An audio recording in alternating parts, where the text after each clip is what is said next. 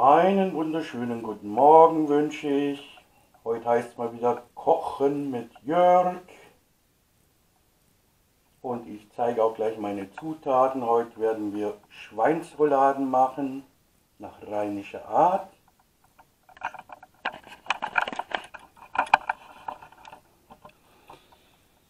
Die Zutaten sind Hackfleisch, 300 Gramm für zwei Stück.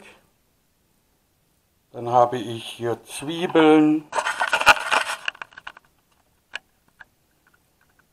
fein geschnitten und Paprika, äh, Paprika fein zwei Essiggurken.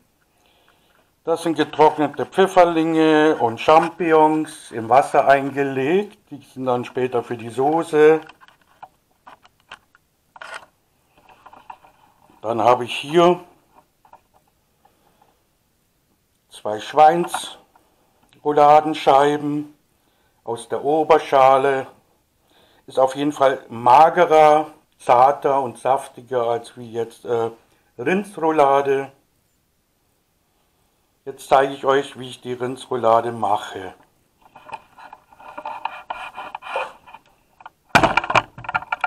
So.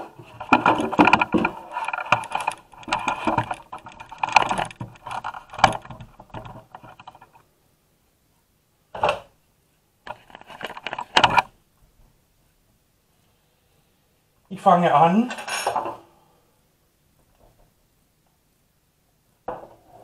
Ich stelle bloß noch ein bisschen hier was ein.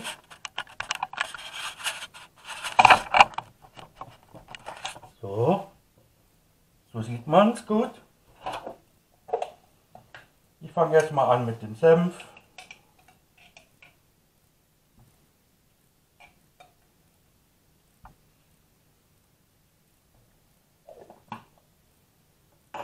Dann verstreiche ich den Senf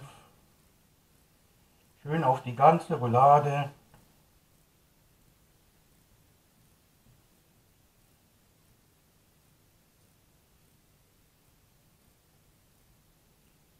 Es gibt Geschmack und Würze. Hier genauso.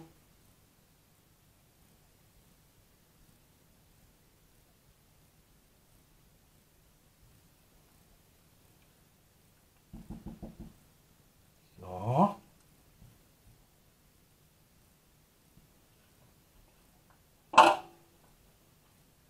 Jetzt habe ich sie bestrichen. Hier habe ich jetzt so eine Mischung, die mache ich immer selber. Das sind jetzt so ähm, zwei Esslöffel, äh, zwei Teelöffel Salz, ein Teelöffel Paprika, ein halber Teelöffel Cayenne und ein Teelöffel Knoblauch. Dann nehme ich einen Löffel und würze das ganz leicht. Erstmal von innen.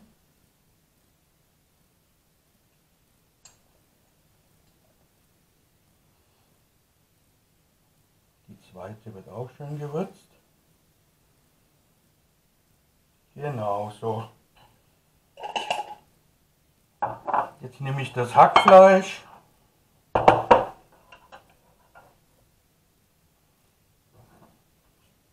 Ich tue da rein die Paprika, Zwiebeln, die Essiggurken kommen zum Schluss.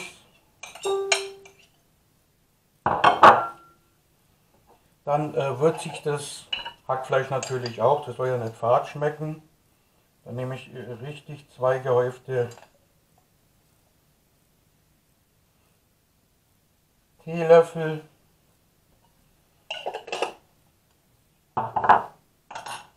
Dann verknete ich das.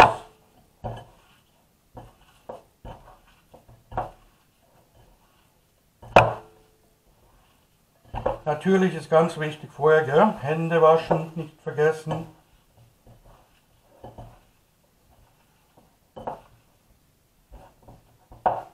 So.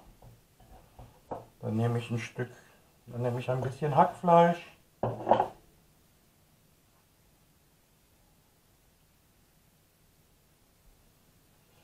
Schaut es dann aus. etwa so an jeder Seite, würde ich mal sagen, so 5, 6 cm freilassen, weil wir wollen das ja umschlagen und dann nur noch mit einem Ding verschließen. Also man kann Zahnstocher hernehmen, man kann aber auch was anderes hernehmen, wie man das möchte. Schauen, dass man so die, das fast alles schön verteilt. Dann bleibt meistens ein bisschen was über. Ich dann so eine Art kleine Frikadelle. Weil es kommt auch immer darauf an, die ähm, Scheiben sind manchmal verschieden. Wenn eine zum Beispiel jetzt mal eingerissen ist mittendrin, gibt es einen kleinen Trick. Einfach eine Scheibe Schinken drunter legen und schon ist es abgedichtet und kann dann und schmeckt auch sehr gut, muss ich sagen. So, jetzt äh, schlage ich das einmal um. Ach nee, zuerst noch die Essiggurke. Die lege ich schön drauf.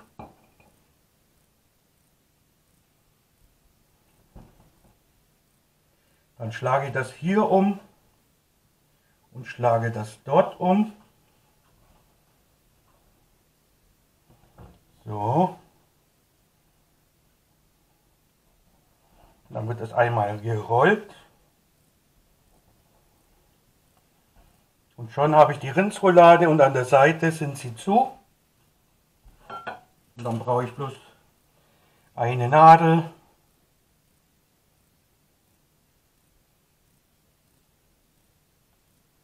Und schließe damit die Roulade. So mache ich das mit der nächsten auch. Umschlagen.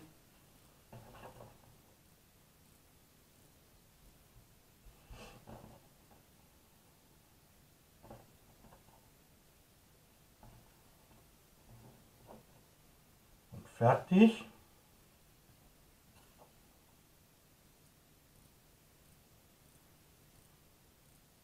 So, dann hat es auch einen Gehalt.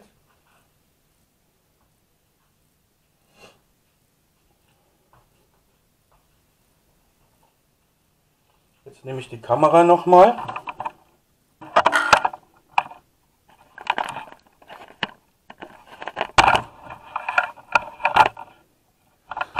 Habe da jetzt einen Topf hergerichtet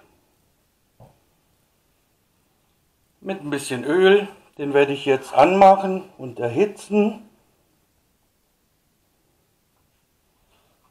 In der Zeit kann man dann schnell die Sachen, die man schmutzig gemacht hat, sauber machen.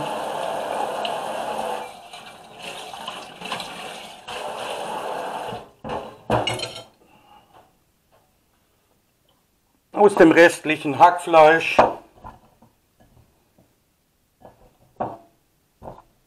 So.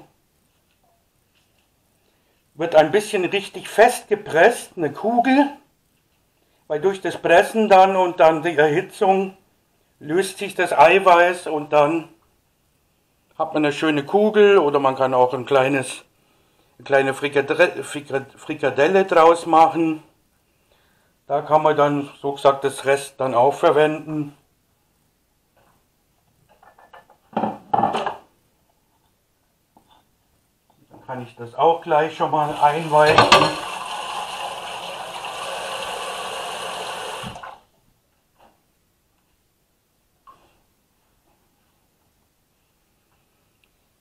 Dann habe ich ja noch die Gewürze. Meine zwei Rouladen. In der Zeit, wo das heiß werden soll, wird sie schon mal oben mit der Gewürzmischung. Weil ich brate immer die Seite zuerst an, wo ich das Stäble habe, also das Metallstäble oder den Zahnstocher. Dadurch, dass ich das anbrate, ist dann auch der bessere Halt und gleich geschlossen.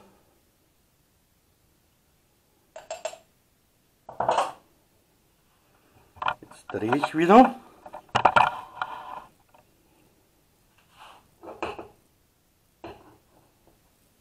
Das muss jetzt ein kleines Momentchen heiß werden, aber das geht recht zügig.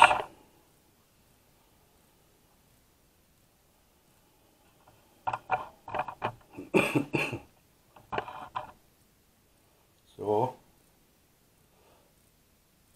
Okay, Akku passt noch. Ja, braucht noch ein bisschen.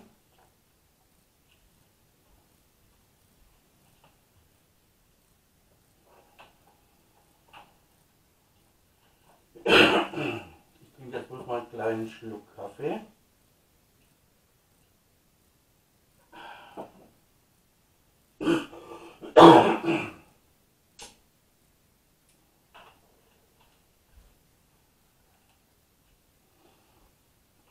Als Beilagen könnte man hernehmen Knödel und Blaukraut oder Kartoffeln und Erbsen und Möhrchen. Ich zeige euch ja heute jetzt nur, wie man die Schweinsrouladen macht. Das sind jetzt rheinische Schweinsrouladen. Man kann selber entscheiden, ob, wenn man keine Paprika mag, kann man sie ohne Paprika machen. Aber die Essiggurke sollte schon sein. Die gibt da Schmackes.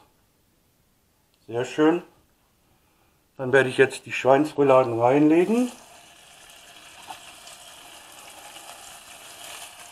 Und von beiden Seiten kräftig anbraten. Daneben lege ich die Frikadelle.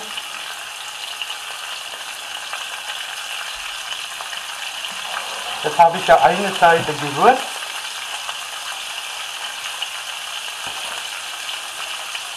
Kommt die andere Seite dran.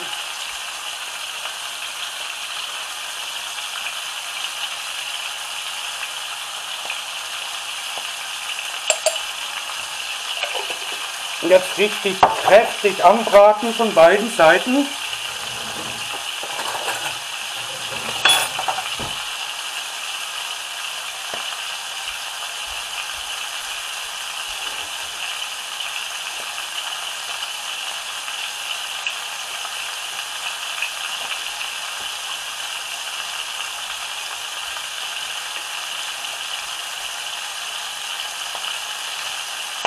Ihr noch alle, früher als Kind äh, gab es so einen kleinen Einkaufsladen, so eine Art Regal.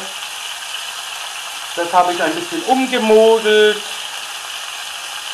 ähm, abgewischt, abgeschliffen und eingewachst. Das möchte ich euch gerne zeigen, weil ich keinen Platz mehr habe auf meine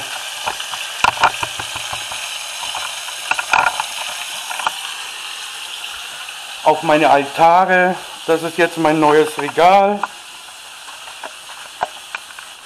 Da habe ich jetzt oben meine Steine.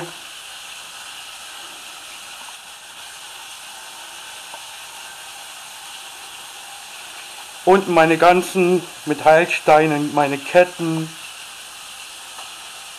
Kerzen.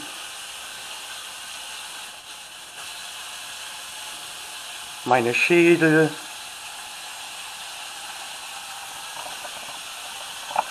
Mein Butter,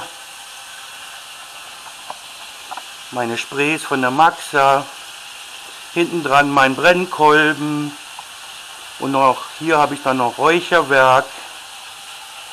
Ja, das wollte ich bloß mal gezeigt haben. Das ist mein neues Schränkchen jetzt.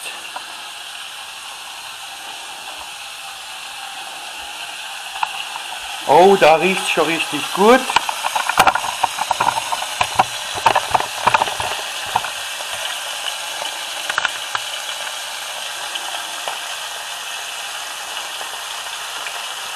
Jetzt werde ich die mal umdrehen.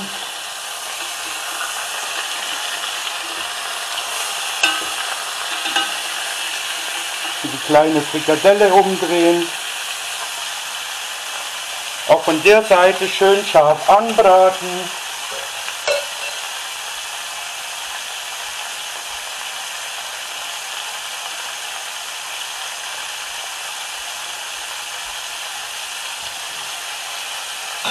In der Zeit richte ich schon mal gleich Wasser her.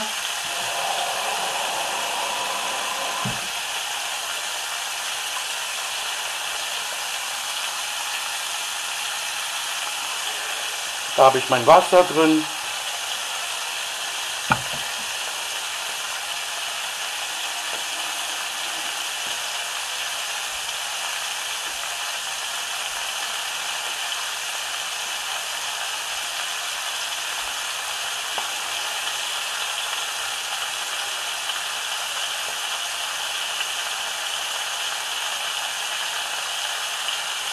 Man kann auch Bratkartoffeln damit machen und Salat dazu in allen Variationen kann man da. Ich mache sie heute mit Bandnudeln und Spargel. In der Zeit können immer noch die Champignons und die Pfifferlinge einweichen. Beim Abschütten dann würde ich beachten, dass man ein Schälchen tut, weil auch der Saft, das Wasser von den Champignons kann man dann auch für die Soße hernehmen, dann schmeckt sie noch, noch mehr nach, nach Pilzen. So, jetzt habe ich sie von beiden Seiten angebraten, scharf. Jetzt gieße ich das Wasser dazu, sodass sie halb bedeckt sind. Dann nehme ich, ich nehme immer gekörnte Brühe. Ich mache jetzt mal kurz Werbung, weil die ohne Geschmacks-, also äh, Natriumglutamat ist. Ohne Geschmacksverstärker. Dann nehme ich etwa